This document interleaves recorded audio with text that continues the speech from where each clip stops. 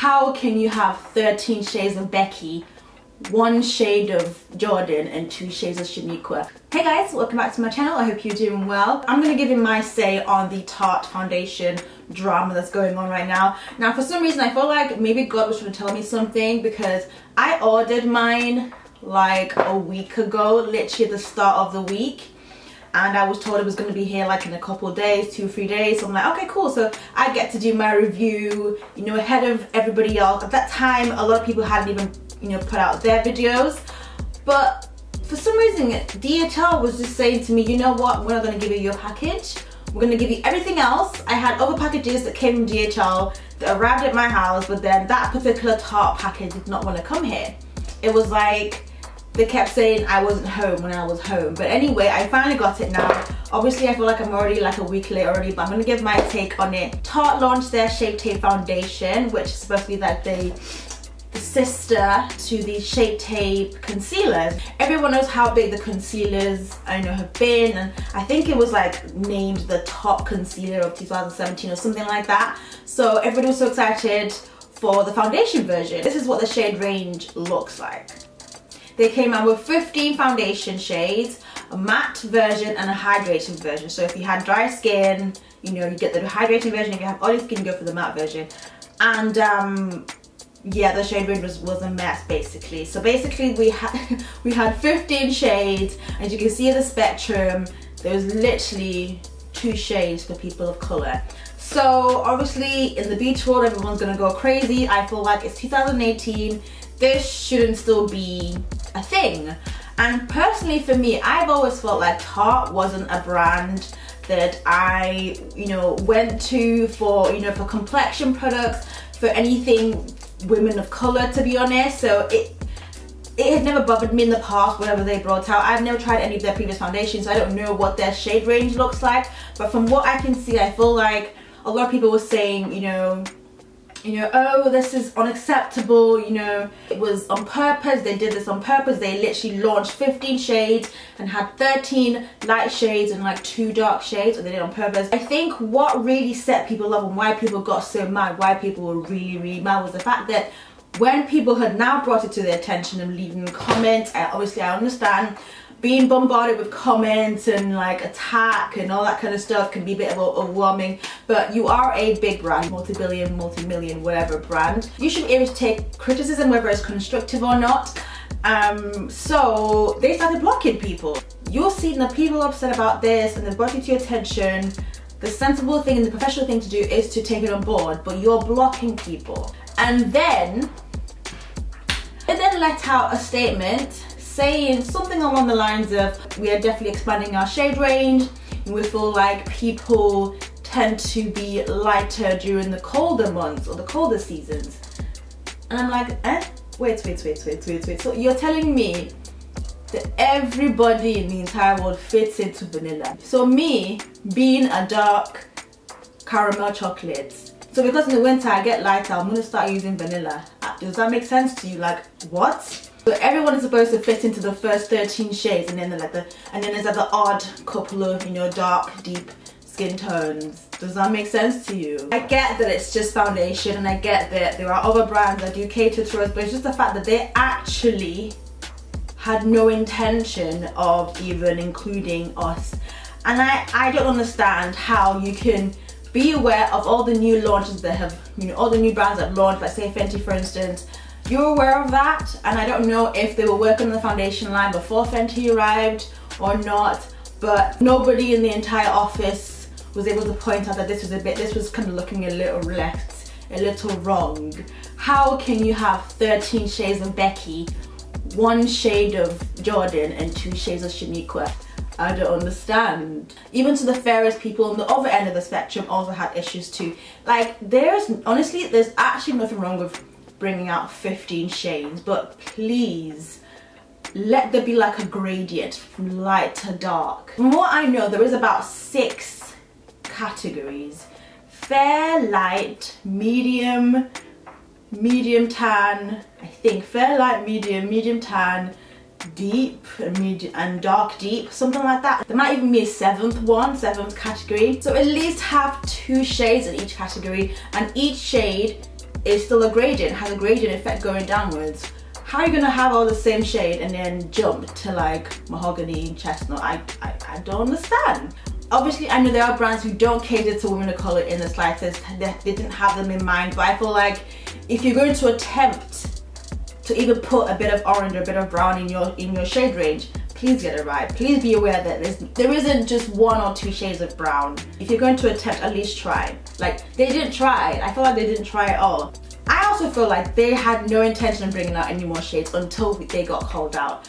I felt like this was it for them. They were happy with their 15 and they were good to go. The apology was whack and I know a lot of people would now be boycotting them. It's up to you what you want to do. I won't tell you to throw things away.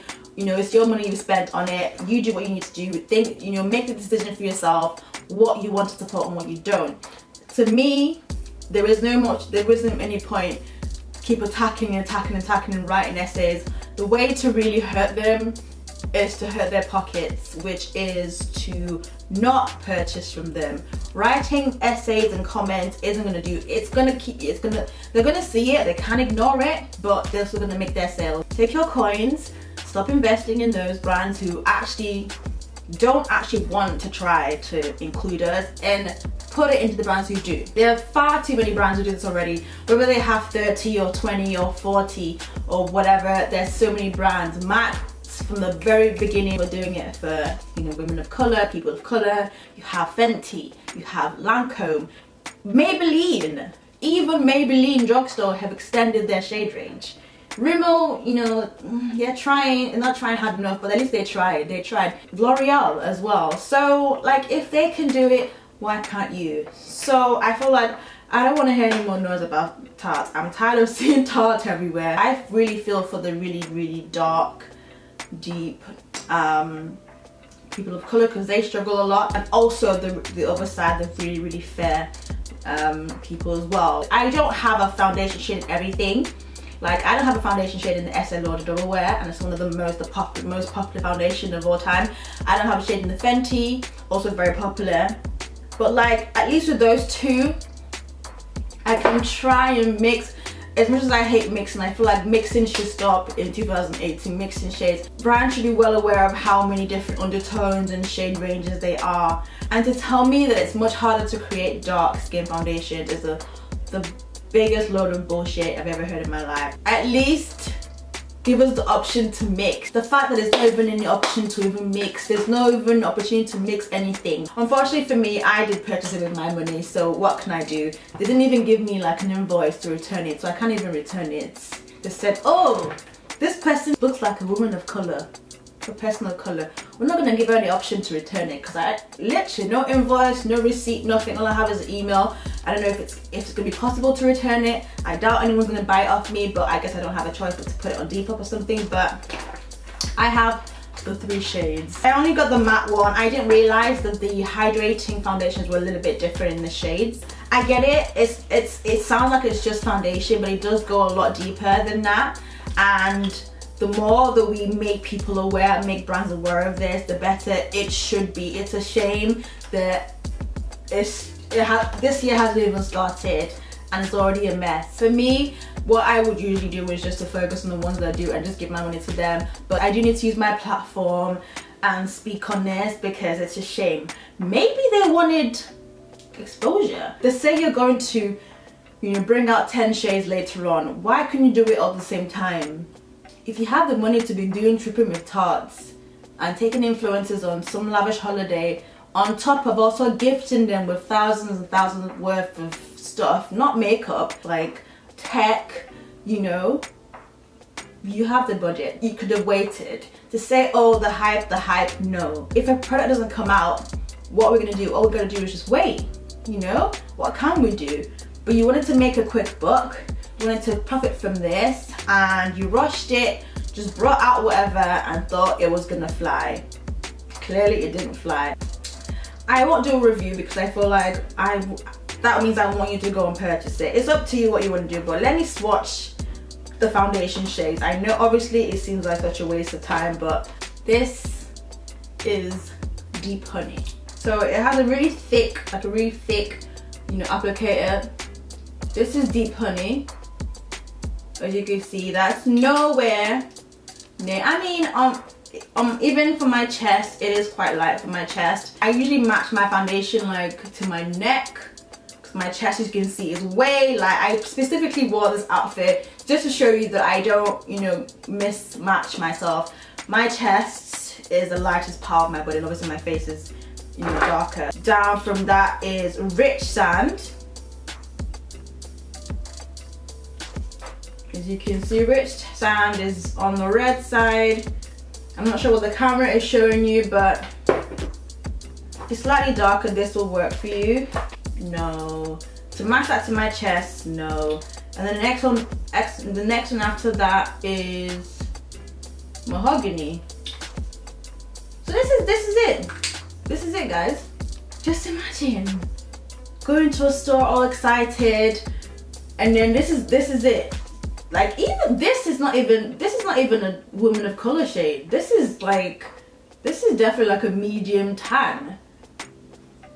Like we literally only got two shades guys. Two shades that's it. Like that's it. Look at how red it is. Like it's ridiculous.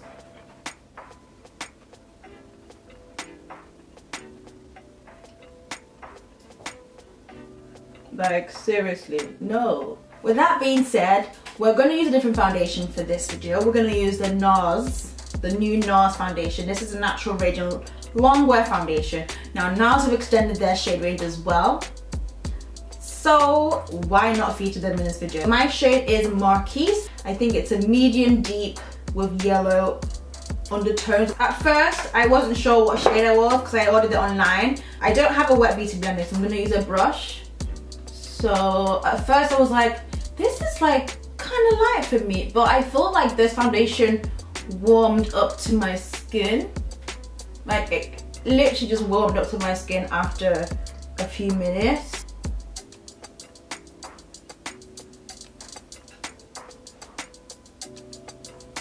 This foundation has covered most of my face. There are some, like I had a dark mark here, which obviously I'd have to go in on a little bit. It didn't come, it didn't cover it completely, but it's not supposed to be a full, full coverage foundation, but it's supposed to look like it's full, but still look like skin, if that makes sense. Obviously, NARS are famous for their radiant foundation, so you're not gonna get that Kat Von D or Huda Beauty effect to your face.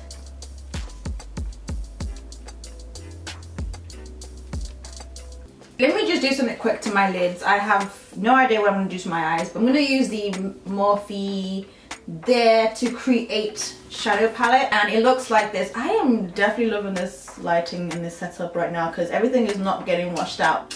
Now, seeing as Tarte is cancelled and everything else, we have an alternative. So if you know about the Tarte Shape Concealers, there's a new arrival in town. It's the Makeup Revolution Conceal and Define Concealers. I've had this for about a couple of weeks now. I was gonna do a video solely on reviewing them, but I'm gonna add it to this video as soon as like, you know, we're still, we're kind of on that, you know, subject. So I was able to grab um, seven of the 18 shades, so all the, you know, the darker shades. There they are. I have C12 to C18. C12, C13, C14, C15, C16, C17, C18. Okay, so these are the concealers I would consider for deeper skin tones. Um, um, I feel like the shade range could have been better. I would definitely swap around some of these shades. This is C16. I would have put that after C13 just because of the color and then just let it go like that. But it's a little bit of a job. I wish I wish there was a yellow more of a yellow concealer shade. So this is the Kat Von D for instance. Let me show you what the yellow looks like. This is what I would have wanted. I would have wanted something like this. I'm looking at it. My you know my under eye concealer shade would have to be C13 it's it's very close to my skin tone. We're gonna have to work with that anyway. Okay so this concealer is retail for four pounds. They're supposed to be cheaper than the Shape Tape but really and truly this is only 3.4 mil. The shape tape is 10 mil and the revolution makeup revolution is 3.4 mil. So even though this is supposed to be four pounds the shape tape is 28 pounds. If you really work it out if you were to make this up to 10 mil it's gonna be about, oh my maths, what is my maths calculation right now? Over 10 pounds for 10 mil. So if you're going by how much this is, it's only 3.4 mil, then I guess it's cheap. But if we're really comparing prices, it's really not that cheap they're just throwing at you four pounds, four pounds. You think, oh, it's so cheap. But if you really calculate it, it's not as cheap as, you know, it's still cheaper than the Shape Tape. Anyway, this is 13. So I'm going to apply this under my eye. The applicator is pretty much the same. So I'm just to apply that under my eye. I'm to try and apply a generous amount so I can like cover my deep set under eye. Okay, so the concealer is kind of drying up now. Let me blend that out.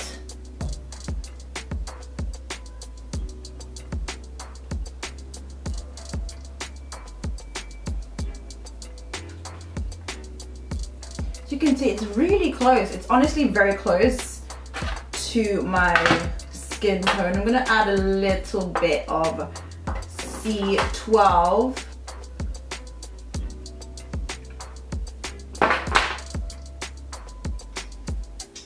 But I do agree this is kind of full coverage.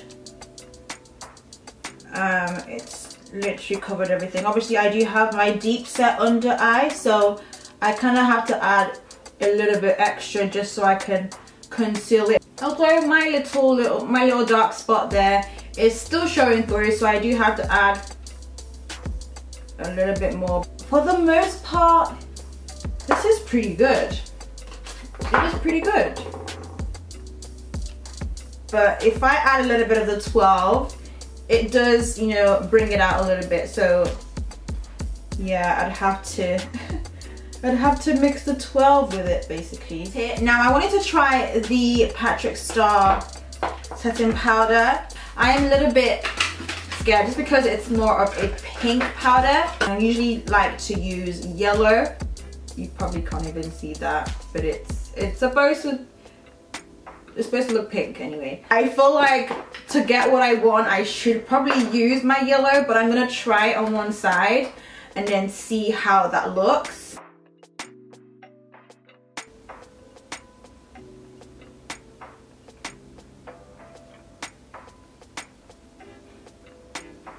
Let's say it's translucent, so it should literally disappear once I blend it out. I'm gonna do both sides just to see. Maybe I should probably have used a dry sponge.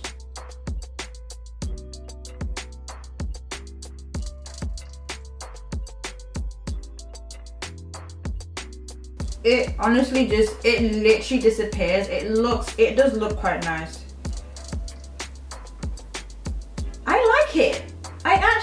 It. Doesn't look too overpowering. Obviously close up, you can you can see my under eye folds are still there. Let me put a little bit, I'm gonna put a little bit of the yellow. Let's see what the yellow does. It's like such a nightmare having need and I'm not even able to get like filler because they said I don't need it. I'm like, can you not see my under eye? Like it's a mess. Okay, we're gonna use 16 to contour because that's the warmest one. Last two shades are quite um, on the cool tone side. So we're gonna use 16. Also on the perimeter of my forehead.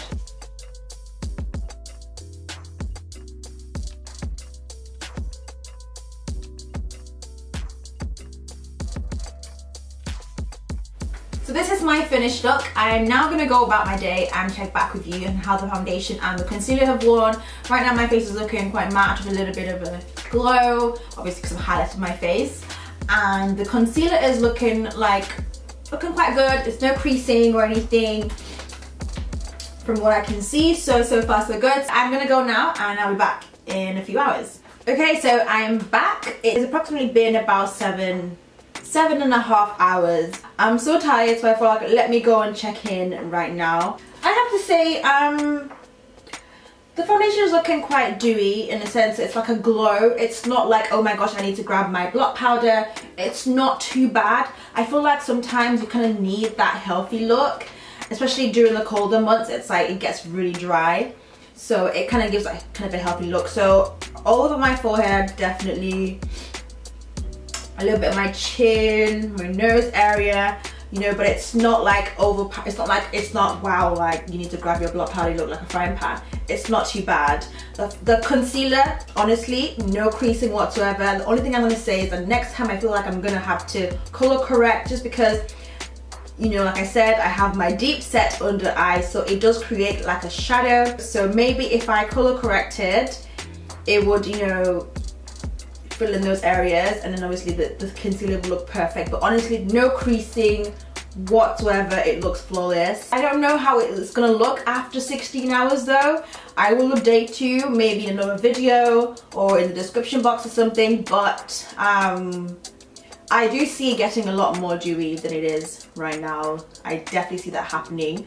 So i definitely see myself having to block the areas where I would blot are just above my brows. I don't like when it's too shiny above my brows. It does say it's transfer free, but it's definitely not transfer free, just to bear that in mind.